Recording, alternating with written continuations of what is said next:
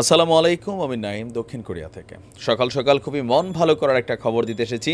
Share করে বিশ্ববাসীকে জানিয়ে দিন যে আল্লাহর ঘর, এটা তিনি রক্ষা করবেন। তবে নির্দিষ্ট একটা সময়ের পর আমরা যেহেতু ধর্মে বিশ্বাসী, দাজ্জালের আগমন যখন সন্নিকটে ঘটবে, তখন হয়তো আবার এখানে নতুন কিছু আমরা দেখতে পাবো, সেই থার্ড মাউন্ট টেম্পল।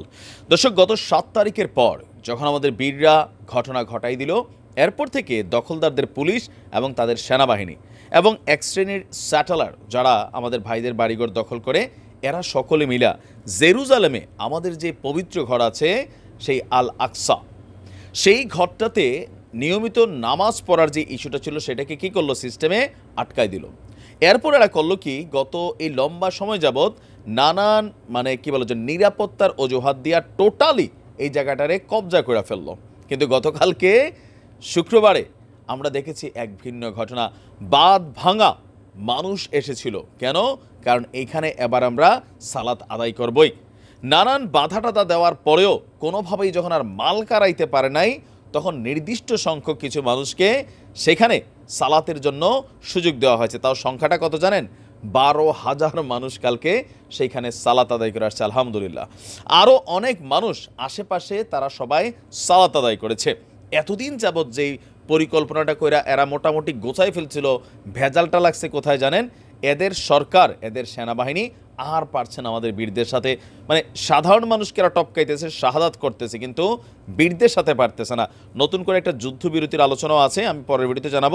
এবার এখানে বলি, এই যে দখলদারদের যে থার্ড মাউন্ট টেম্পল এইটাই কিন্তু এই যুদ্ধগুলোর পিছনের একটা প্রধান কারণ। কারণ আমরা জানি দাজ্জাল পৃথিবীতে আসবে। আর দাজ্জালকে বরণ করার জন্য এদের যেই ধর্ম, সেই ধর্ম অনুযায়ী বেশ কিছু পূর্ব শর্তের মধ্যে একটা হচ্ছে সেই থার্ড মাউন্ট টেম্পল এখন থার্ড মাউন্ট টেম্পল নির্মাণ করা হবে কোথায়? নির্মাণ করা হবে এই আল আকসাকে মাটির সাথে মিশিয়ে দিয়ে সেখানেই কিন্তু আপনার এই থার্ড মাউন্ট টেম্পল গড়ে উঠবে। আর যার কারণে তাদের ধর্মের যারা রব্বি আছেন সেই টেম্পলের ডিজাইন কি হবে, সেখানে আসবাবপত্র কি থাকবে, তারপর তারা যে প্রার্থনা করবে, সেটার পোশাক আশাক কী হবে, সকল কিছুই কিন্তু মোটামুটি তারা রেডি করে ফেলেছে। আর এগুলাকে বলা হচ্ছে যে কোথাও গুপ্ত স্থানে লুকিয়েও রেখেছে।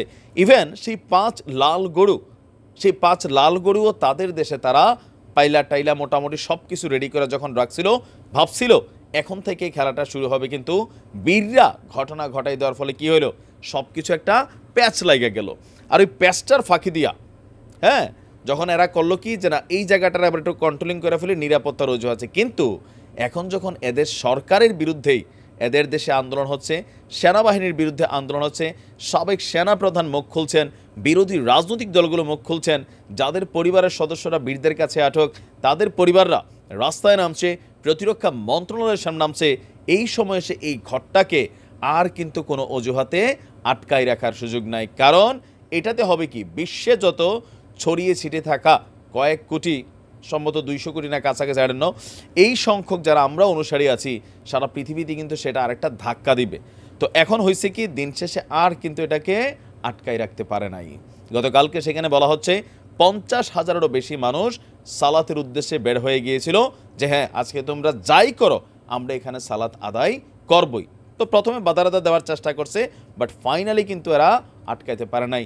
আলহামদুলিল্লাহ, আজকে থেকে এই ঘর আবারও আমাদের যারা অনুসারী আছি, আমাদের দখলেই, আর এদের যারা মানে এখানে তো কয়েকটা দিকের ভাগ আছে একপাশে এদের ধর্মের অনুসারীরা হ্যাঁ আপনার কি বলা হয় যে, তারা তাদের ধর্মীয় প্রার্থনা করে, একটা ওয়াল আছে, এটার বাইরে মূল কাঠামোর বাইরে তো সেইখানে তাদেরকে কিন্তু আমরা কখনো ডিস্টারবেন্স করি না। এরা চায় পুরোটা দখলে নিয়ে ওই যে, এদের দাজ্জাল বাবার আগমনের জন্য এখানে মাউন্ট টেম্পলটার জন্য কন্ট্রোলিং করা।